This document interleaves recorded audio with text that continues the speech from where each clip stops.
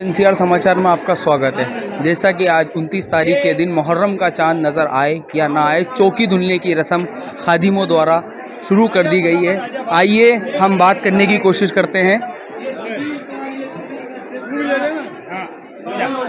जी, बताइए किस तरह की ये रस्म आज अदा की गई है? आज ज़माना कदीम से सरकार गरीब नवाज़ की बारगाह, जो कि आल नबी औलाद अली हैं ये हुजूर सरकार गरीब नवाज़ का दरबार है, जो कि जान, जानशीन है।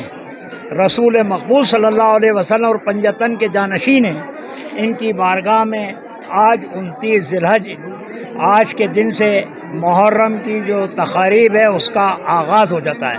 उसका आगाज़ इस तरीके से होता है कि जो यहाँ पर सोज सलाम होता है, सरकार गरीब नवाज़ की बारगाह में उसका आगाज़ होता है, यहाँ से चौकी उठती है और तमाम जमी ख़ुदाम ख्वाजा और मुहबान अहल बैत जितने भी हैं, वो तमाम इसमें शरीक होते हैं और आज से यहाँ पर फ़र्श अज़ा बिज जाती है।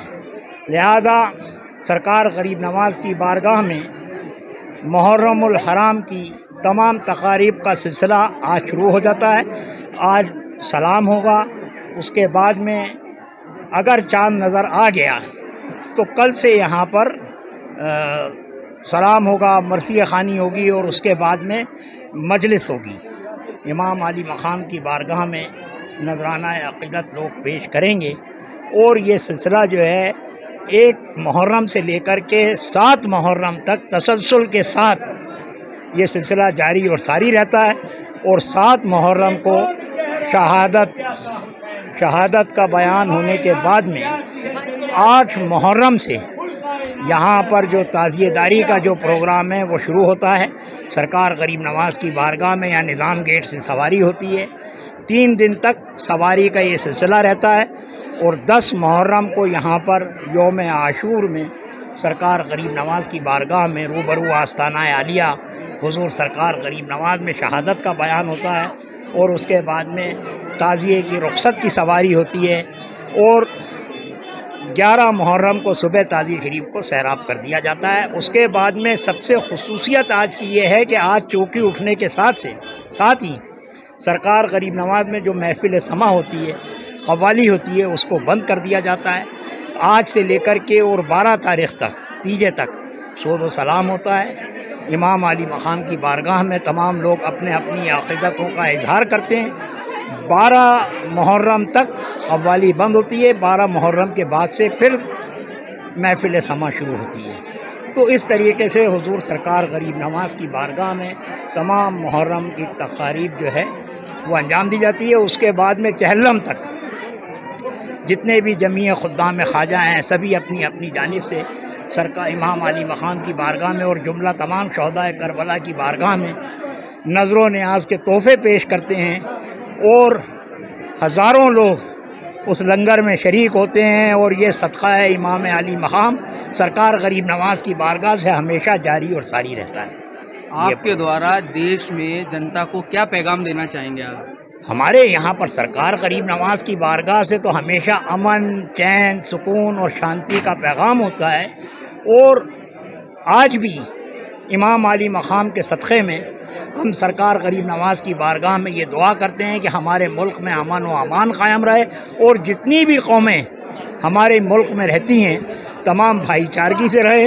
और ये दरबार है सरकार गरीब नवाज़ का कि जहाँ पर हर दौर में, चाहे मुल्क में कैसा भी माहौल हो, दुनिया में कैसा भी माहौल हो, लेकिन यहाँ पर हर लम्हा बग़ैर किसी तफरीक़, मज़हब व मिलत के हर इंसान सरकार गरीब नवाज़ की बारगाह में यहाँ पर हाजिर होते हैं और सभी के ऊपर खा वो किसी भी धर्म से ताल्लुक़ रखते हों, किसी भी फ़िरक़े से ताल्लुक़ रखते हों, किसी भी मसलक से ताल्लुक़ रखते हों, सबके ऊपर हुजूर सरकार गरीब नवाज़ का फैज़ आम होता है और इमाम अली मकाम का सदका, पंजतन पाक का सदका इस बारगाह से सरकार गरीब नवाज़ अपने दस्ते मुबारक से लुटाते हैं। और तमाम लोग फैजियाब होते हैं। आपका नाम? मैं हाजी सैयद मोइन हुसैन गद्दी नशीन आस्ताना आलिया हजूर सरकार गरीब नवाज़।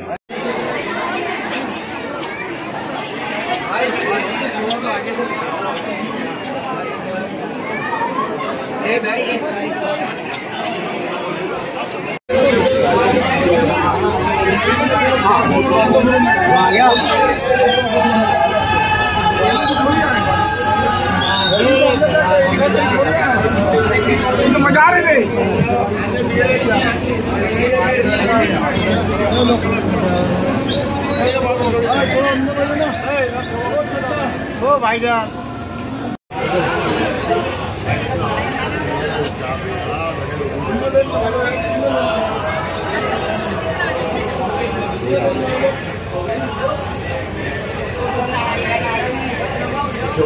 ये जो उनतीस उनतीस तारीख के दिन जो चौकी धुलने की रस्म है ये ये किस तरह अदा की जाती है? ये उनतीस जिलहिज्जा को चाँद रात को गरीब नवाज़ गेस्ट हाउस से चौकी उठाई जाती है और हुजूर सरकार गरीब नवाज़ की रुबाई शाह अस्त हुसैन बादशाह अस्त हुसैन के साथ में ये चौकी निकाली जाती है गरीब नवाज़ गेस्ट हाउस से और सोस खानी के साथ में तीन नंबर गेट पे लंगर खाने में यहाँ पर रखी जाती है। आज मुहर्रमुल हराम के अयाम का आगाज़ हो चुका है और आज ही से सोस खानी भी यहाँ पे शुरू हो जाती है। अगर आज चाँद नज़र आ जाता है तो कल एक मुहर्रम होगी और मुसलसल चाँद रात से लेके सात मुहर्रम तक पाँच नंबर गेट पर फ़र्श अज़ा बिछा दी जाती है। और मजलिस होती है। और जो जिस मुकर को ज़ाकिर इमाम हुसैन आसमाम को अंजुमन सैयद ज़ादगान यहाँ पर बुलाती है, वो तकरीर करते हैं।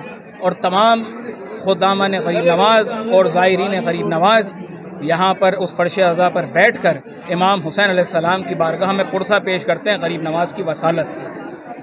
तो ये आज यहाँ पर चौकी उठी है। इन पाँच मुहर्रम को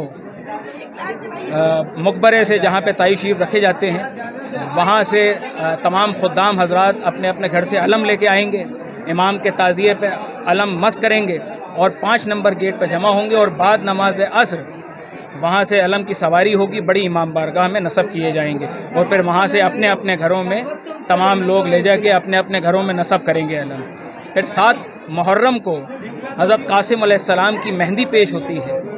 तमाम लोग अपने अपने घरों से, बच्चे, बड़े, बुज़ुर्ग, सब मेहंदी लेके आते हैं, मलीदा लेके आते हैं और अपनी अपनी अकीदत का नजराना जनाब कासिम सलाम की बारगाह में पेश करते हैं। और फिर आठ, नौ और दस तारीख को इमाम के ताज़िए की सवारी होती है। आठ मुहर्रम को पहली सवारी होती है बुलंद दरवाजे से लेके पाँच नंबर गेट पे जो छोटी इमाम बारगाह है, वहाँ पर ताज़िए रखे जाते हैं। फिर नौ मुहर्रम को पाँच नंबर गेट से उठाकर बड़ी इमाम बारगाह में इमाम का ताज़िया ले जाया जाता है और फिर दस मुहर्रम को बड़ी इमाम बारगाह से मौला का ताज़िया उठता है और पाँच नंबर गेट से होते हुए दरबार शरीफ के चारों तरफ़ सवारी गश्त करती है और इमाम हुसैन सलाम का ताज़िया फिर बुलंद दरवाजे पे आके मंजिल होती है और फिर सोलह खम्बे में जाके रखा जाता है और फिर सुबह में सैराब किया जाता है करबला में, झलरे में। इमाम हुसैन सलाम की मोहब्बत पर किसी एक, सिर्फ़ किसी एक मज़हब का हक़ नहीं है। इंसान को बेदार तो हो लेने दो, हर कौम पुकारेगी, हमारे हैं हुसैन। इमाम हुसैन सलाम की बारगाह में तमाम लोग, हिंदू, मुस्लिम, सिख, ईसाई अपने अपने तरीके से अपनी अपनी अकीदत अपनी अपनी अकीदत के हिसाब से इमाम की बारगाह में पुरसा पेश करते हैं। और इमाम हुसैन आसमाम की वसालत से अल्लाह ताला से वो सब हासिल करते हैं जो उनके नसीब में ना हो। क्योंकि ये वो दरबार है इमाम हुसैन सलाम का कि जो अल्लाह ने नसीब में लिख दिया है वो तो मिलना ही है। यहाँ पर आके वो मांगो जो नसीब में ना हो। ए सलामी, मांग ले शब्बीर से, जो तुझे मिलता ना हो तकदीर से। तो बस यही पैगाम देना चाहेंगे कि इमाम हुसैन सलाम ने करबला में अपनी शहादत दे के इंसानियत को बचाया है और करबला सिर्फ़ एक वाक़ नहीं है जो हो के गुज़र गया। करबला एक यूनिवर्सिटी है, जो हमें जीने के आदाब सिखाती है, उसूल सिखाती है। तो बस करबला को याद करें, करबला को देखें, ये हिस्ट्री पढ़ें। सबसे यही कहना चाहते हैं आपके चैनल के ज़रिए से कि करबला की हिस्ट्री को पढ़ें, वो जहन में रखें। तो इन अल्लाह रब्ज़त पंजतन पाक के सदक़े में सबको शाद आबाद रखेगा और कामयाबी व कामरानी अता फरमाएगा। सैयद फजल मोइन चिश्ती। दरगाह के खादिम सैयद मोइन हुसैन चिश्ती साहब ने मुहर्रम की पूरी जानकारी दी और आगे के जो भी होंगे, हम आपको हमारे चैनल के माध्यम से दिखाते रहेंगे। कैमरामैन तौसीफ के साथ, मैं मोइन गौरी, अजमेर।